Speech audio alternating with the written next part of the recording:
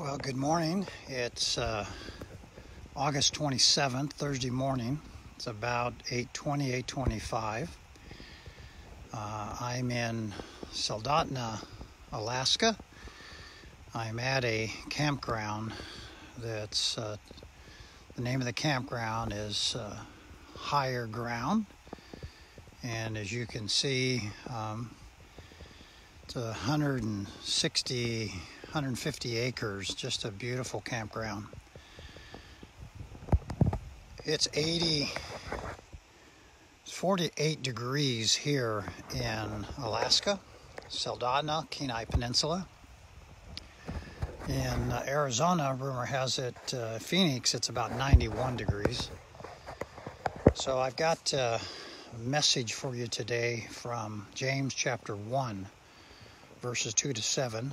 Uh, good morning to those of you from the uh, Tennessee, Alaska, Phoenix, uh, Texas, a number of different areas. Um, this is James chapter 1, verses 2 to 7. If you're facing a problem, a challenge, if you're struggling with uh, something that uh, is difficult for you, it could be, call it an adversity.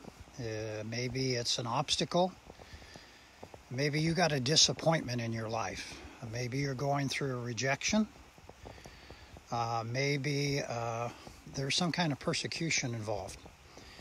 So, what we're talking about today from James chapter 1, verses 2 to 7, is the right way to respond to challenges. The right way. I'm going to give you six right ways to respond to obstacles, to suffering, to adversity. Uh, every now and then, I'll give you a quick uh, look of my uh, path I'm on. I'm on the higher ground uh, campgrounds uh, in the woods, just enjoying a walk. James chapter 1. James chapter 1, verse 2 says this Consider it all joy. So that's your first right response to your challenge. Whatever your challenge is, you maybe you don't have much money, maybe you've got a health problem, maybe uh, there's a marriage difficulty. Consider it all joy. Not that the problem is joyful, not that the challenge is joyful. Challenge can be very, very painful, very, very difficult. But the Bible is says, change your perspective. James 1 2 says, Consider it all joy, uh, my brethren, brothers and sisters, when you encounter various trials. Notice it says when, it doesn't say if. You will encounter challenges, obstacles, problems, adversities, trials. So, the first thing to do is adjust your perspective on your challenge, whatever your challenge is. Maybe uh, you're just uh, full of anxiety. Maybe you've got a lot of stress over different things. It says, consider it all joy. So, the first thing is to rethink your thoughts see your challenge, see your suffering the way God wants you to see it. Consider it all joy. Be aware that God is working ahead of you. That's how you start to consider it all joy. Your suffering, your problem, your challenge, your adversity. Rethink now, start thinking there is a joyful outcome. So, the joy is knowing that God is in charge. The joy is knowing that someone far bigger, far more powerful than you and your challenge. You know, whatever that challenge is, that difficulty, that adversity, God is bigger than that. So when you consider it all joy, you're considering and rethinking that God is actively working on your behalf. So, whatever your circumstance is, consider it all joy. That's number one. Consider it all joy, my brethren, when you encounter various trials. Number two, second suggestion this is a faith test.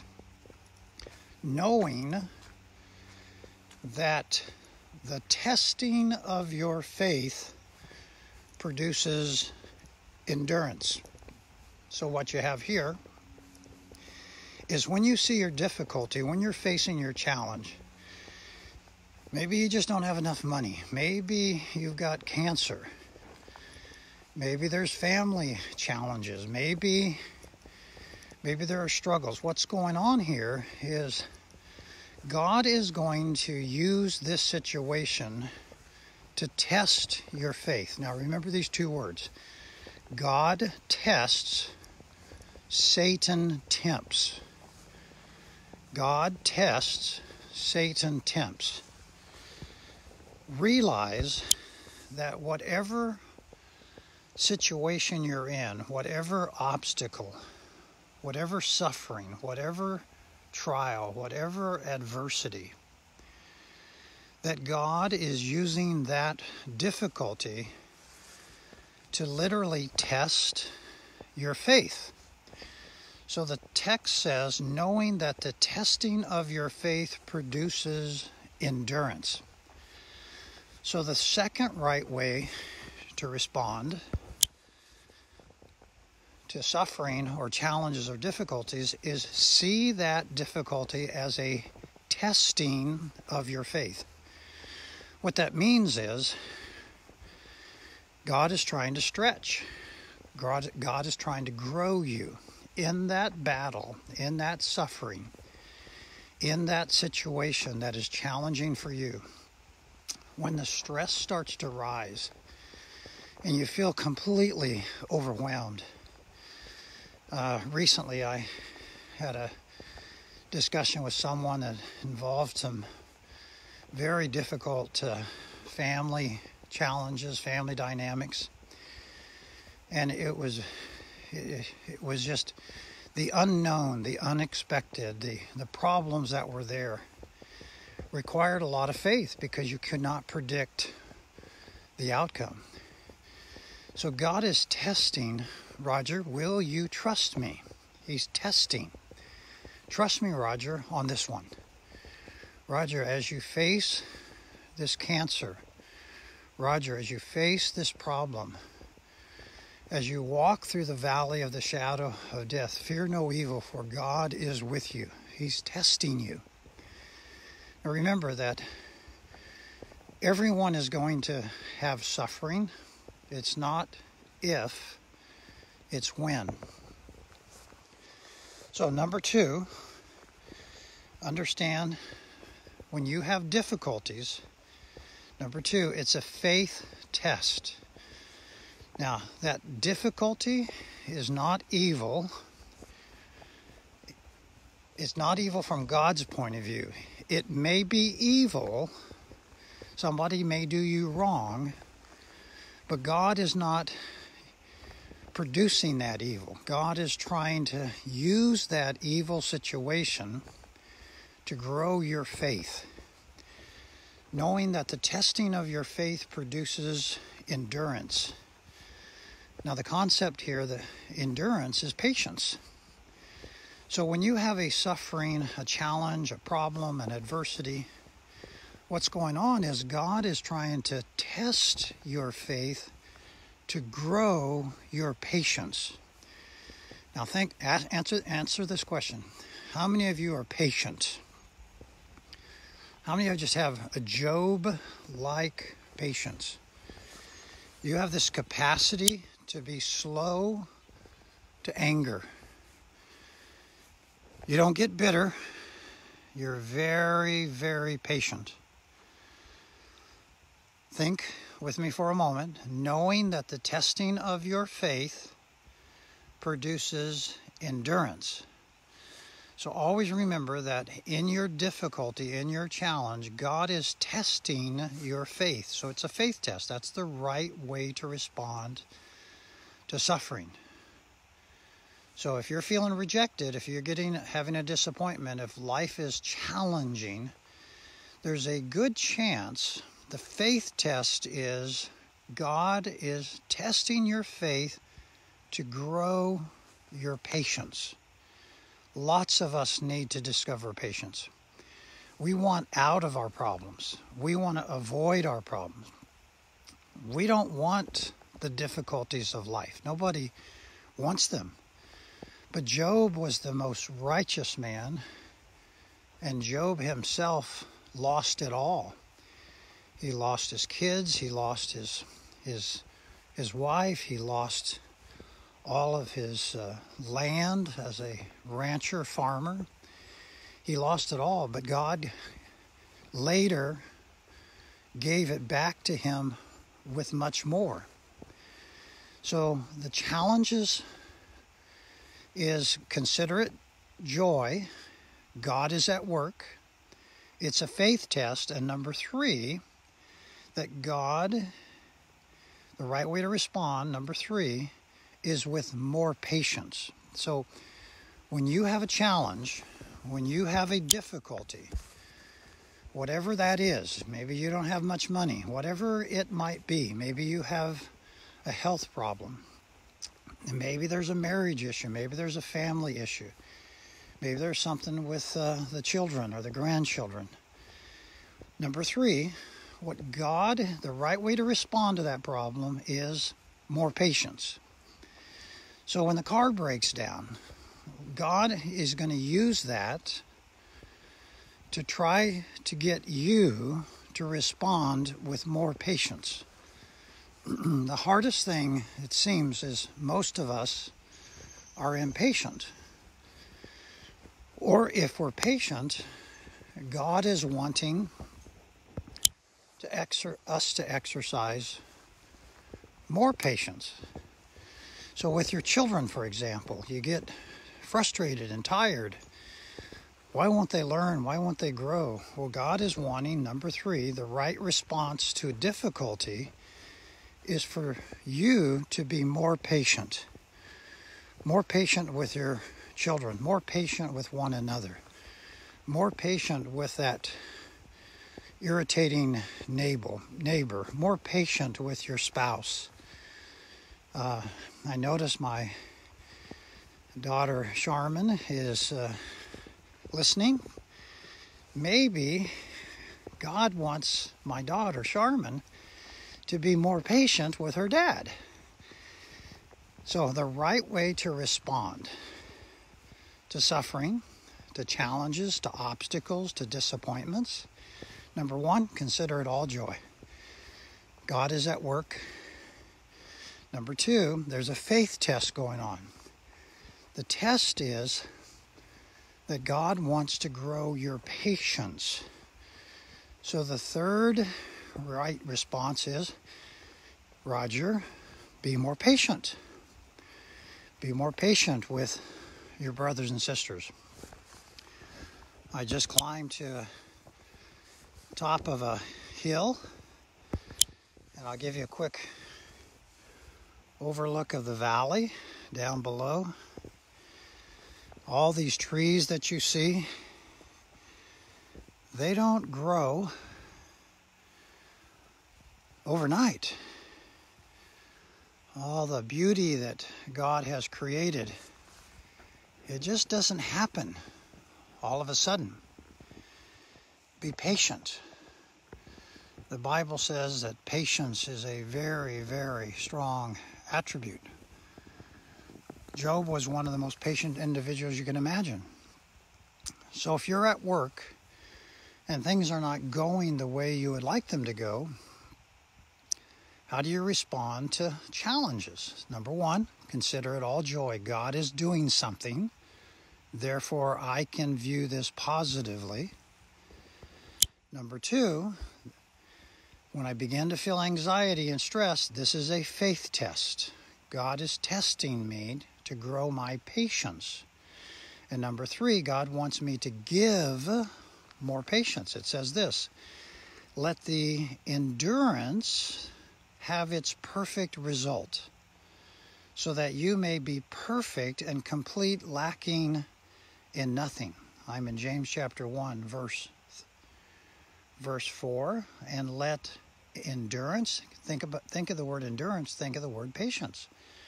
And let patience have its stable result, mature result, its strong result, so that you may be mature and complete, lacking in nothing. The right way to respond, the right way to respond to difficulties is to be more patient. So, how do you get there? You get there by number four, asking God for help. So it starts off with a perspective. I see this problem. God, you're at work. I, I know it's a, it's it's I'm feeling pain. It's a difficult challenge. I'm feeling stress. I'm feeling anxiety. I'm suffering, but I'm going to consider it all joy because you're at work. So number four is, how do you respond to difficulties? What's the right response? You ask God. You ask God for help. Verse 5 says, But if any of you lacks wisdom, let him ask of God, who gives to all generously and without reproach, and it will be given to him. So you have to trust that God is working. There are days when you can't see it, you, you don't know God is working. There's this challenge that just keeps getting bigger and bigger, uh, over consuming you. You just you can't figure it out. But God is working, and now you turn to God. Now you ask God. Any of you lacks wisdom, let him ask of God who gives to all generously and without reproach. That means God's not going to be upset with you. You need help, you need wisdom with your, your challenge? Ask God. He'll give it to you. Ask Him.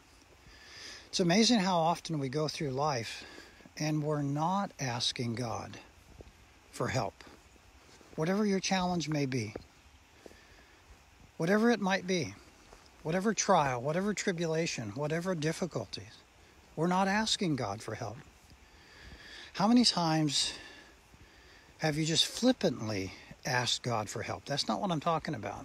I mean a serious request.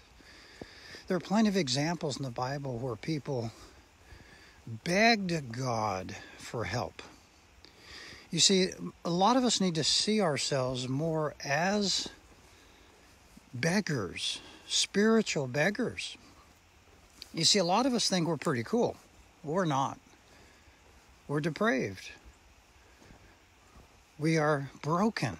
Blessed are the poor. That poor, blessed are the poor in spirit, for they shall see the kingdom of God.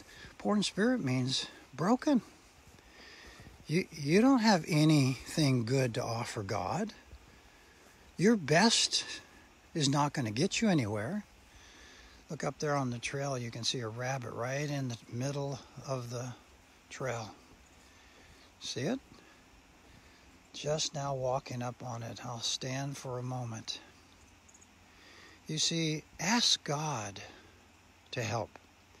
If any of you lacks wisdom, let him ask of God, who gives to all generously. God will give you wisdom in that difficulty, and it will be given to you. All right, so now number five. The fifth way, the fifth right response to obstacles.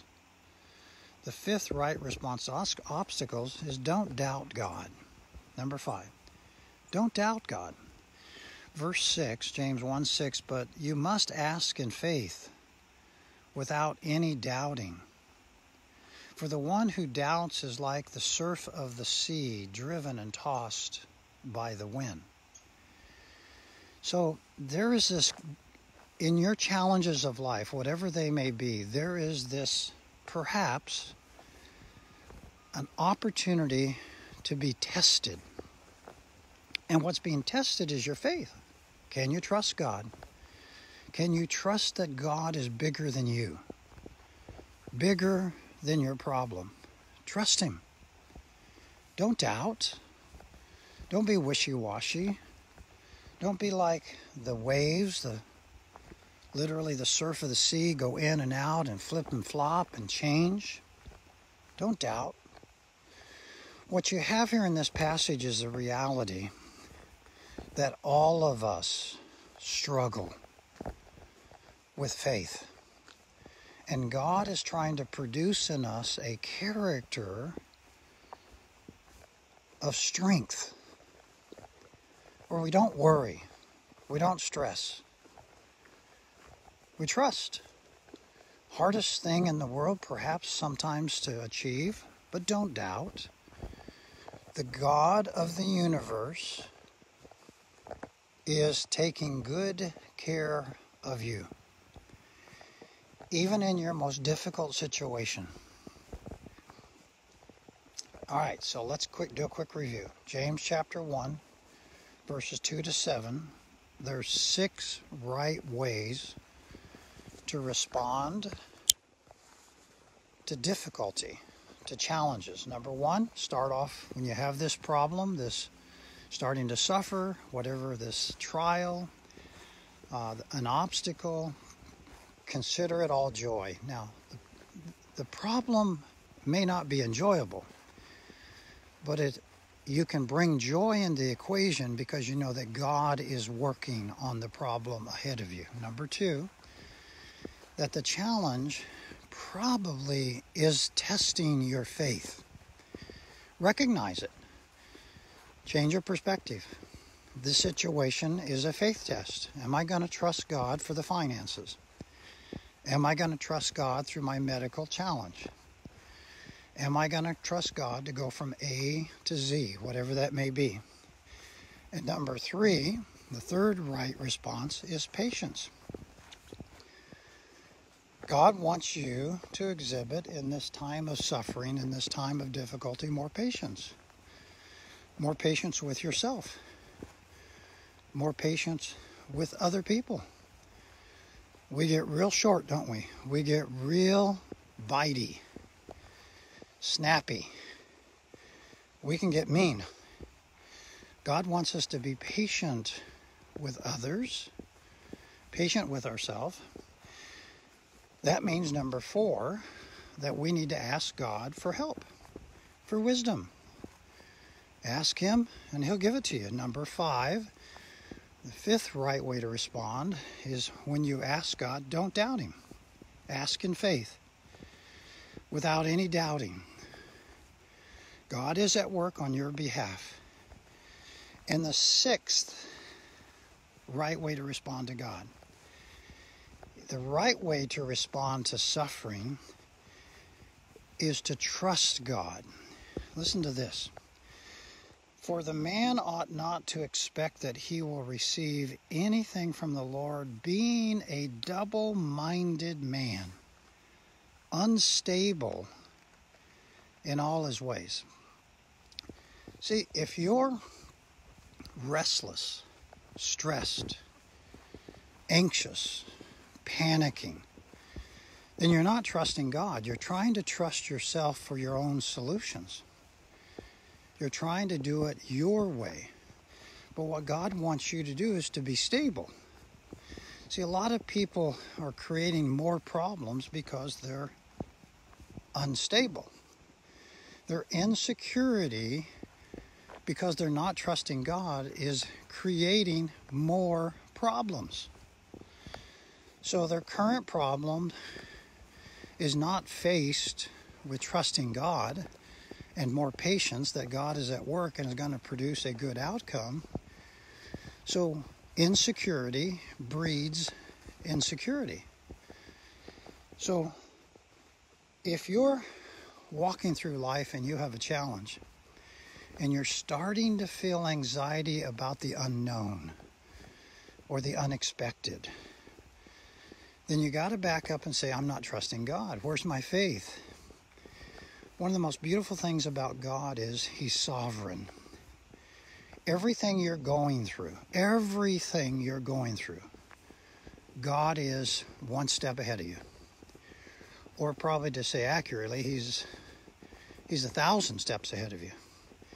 And he is blazing the trail for you. You may not know it, you may not be aware of it, but you need to trust God. So the sixth right response is be stable, be secure. As you face your problems, the right way is not to be filled with anxiety and being wishy washy. The right way is to trust God and be stable. I find it uh, a challenge. Uh, humans are so wishy washy, but God doesn't want you to be wishy washy. Flaky, we can be really flaky. We can be hot and cold. We can vacillate, and He wants our faith to be stable. He wants patience to be stable. He wants us to walk through life not knowing all of the outcomes or what's going to happen on the path. Just as I now went through a trail that I'd never been on uh, in the woods in uh, Alaska, uh, trusting that I would make it back, that this trail would lead me back to camp. So I literally went up a hill, got to the top, came down the hill, and now I'm walking back up. Those of you that are still enjoying this path, I'm walking now back up to where I'm staying for a couple of weeks. I'll show you my little cabin. We've given you six right ways to respond to obstacles, to adversity, to su- suffering. Number one, consider it all joy. The problem that you're encountering may not be joyful, but if you realize that God is working ahead of you, that there will be a good outcome, that God always all things work together for good romans 8 28 to those who love god and are called according to his purpose. Number two the second right response to obstacles or disappointment is recognize it's a faith test god is testing your faith and number three he wants you in that obstacle to be more patient more patient so I'm now headed back. This is my little uh, bungalow, my little cabin that I'm staying in up in Soldotna, Alaska at higher ground. So, more patience. God wants you, as you're growing in your patience, to ask Him for help. That's number four. Ask God for help. If any of you lacks wisdom, let him ask of God. God will be generous with you. He loves to give wisdom. And number five, don't doubt God. One of the big tests of faith is no matter what happens, I'm going to trust God. I'm going to trust Him. Good, bad, or what, whatever the outcome is, I'm going to trust Him. This is our bathhouse, and there's cabins over there. This is the sports fields, snack bar, dining hall. So don't doubt God. God is at work. And the sixth way to respond to God is to be stable. In your difficulties, in your adversity, God wants you to be solid, stable. He wants you not to be double minded. God wants you to be strong, not weak. So it's a beautiful projection of how this works. All of our problems, whatever they may be, consider it all joy. See your problems as a faith test. Number three, that God wants you to give more patience into that problem. He wants you to talk to Him and ask Him for help. He doesn't want you to doubt Him. And He wants you, as you face your problems, God wants you to trust Him. And by trusting God, you will find anxiety going down. You'll find stability in your in your soul. You'll find less anxiety. So I'm going to read the passage again to you, see if it'll all make some sense to you. James chapter 1, starting in verse 2. Consider it all joy, my brethren, brothers and sisters, when you encounter various trials, knowing that the testing of your faith produces endurance. That endurance is patience. And let the endurance, patience, have its perfect results, so that you may be perfect, mature, and complete, lacking in nothing. But if any of you lacks wisdom, let him ask of God, who gives to all generously and without reproach, and it'll be given to you. But you must ask in faith, without any doubting, for the one who doubts is like the surf of the sea, driven and tossed. Driven and tossed by the wind. And verse 7 For that man who is flaky, wishy washy, for that man ought not to expect that he will receive anything from the Lord, being double minded, unstable in all his ways. I don't know if you have challenges. Uh, there's a good chance that you do. Uh, we all have challenges. I'm thinking right now of uh, Vicky. She's got some cancer challenges. I'm thinking of another individual that's got some legal challenges. Thinking of a another teenager that got some challenges. Thinking of a church that's going through some major problems. Remember, you gotta you gotta come back to God. You gotta ask God. You recognize you're in a faith test. Ask Him for more patience. Don't doubt Him. See that problem that God is at work ahead of you and consider it joy not pain. Yes, it's hurting, but see that God is at work. Don't doubt God and be stable. I'm going to take a moment and just uh, pray for you. God, give us that ability in the quietness of this moment to say thank you for the way that you care for us, for the unknown, the unexpected. Uh, God, the family that uh, has got the legal problems that uh, uh, that I shared earlier, just give them lots of wisdom. Uh, for Vicky, as she battles cancer, I ask for your healing touch. God, we all need wisdom in one way or another. Give us that ability, God, to recognize that there's so much we cannot understand that oftentimes we walk through life blinded. We're just blind, and we need your help. Give us that ability to trust you. That patience is a big deal, not anger, not not hate, not meanness, but patience, which includes mercy.